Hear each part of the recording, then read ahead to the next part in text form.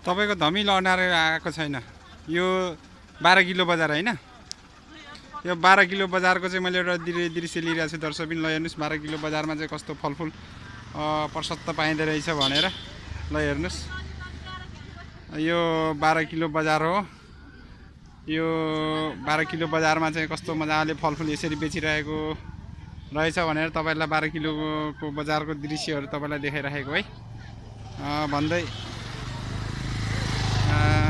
यता।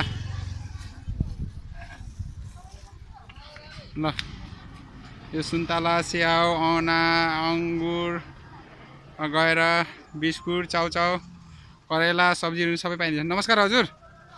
यो पसलको नाम के भन्छ? यो ठाउँको नाम के भन्नुभयो अरे?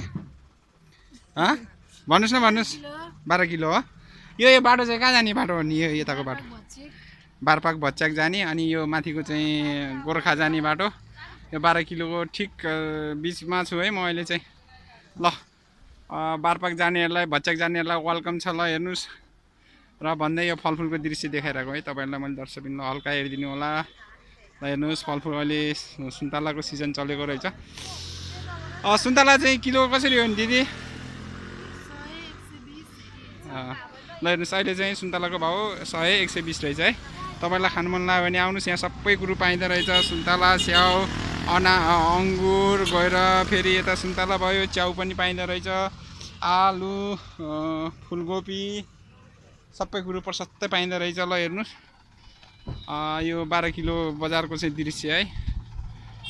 ल हेर्नुहोस्। राम्रो छ रमाइलो छ।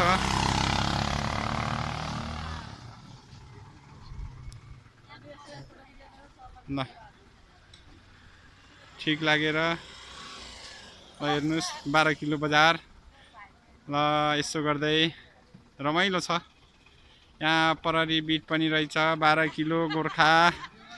अब यो गोर्खा जाने रोड योबाट भयो भने यतापट्टि बारपाक जाने रोड यस्तो रहेछ। ल हेर्नुहोस् हाम्रो बाह्र किलो बजारको दिदीहरू फलफुल बेचेर यसरी बसिराख्नु भएको छ। यो गाडी चाहिँ यता जान लागेको। यो खैरानी काठमाडौँ पोखरा मुङलिङ जाने बाटो पारिपट्टिको दृश्य। ल हेर्नुहोस् है।